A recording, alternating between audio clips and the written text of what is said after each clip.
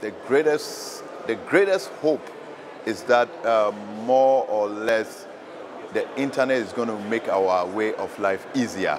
Everything we're going to do is going to be easy, it's going to be fast, it's, it's going to, so, so it's going to, it's going to help. Um, I mean, if you're going to have a, um, a, a smart cars and all that, it's, it's easy for me, right? So it's going to make our way of life easier. But as much as the internet is going to actually transform our way of life, there is this great threat of, of attacks, cyber attacks.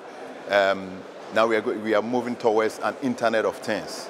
Now, the more you have, the more devices you have accessing the internet or connected to the internet, the more your threat points or, or your, your, your more um, uh, access point for, for that are vulnerable, you know, increases. Because unlike for now, we just, if you the only points are that having your internet, your computers, or attacking your networks. But if my microwave can connect to the internet, my microwave is a point of attack for the, for the, for the hackers. So the more devices that you have connected to the internet, the more risk factor it is. So, so I think that's, that's my greatest fear, yeah.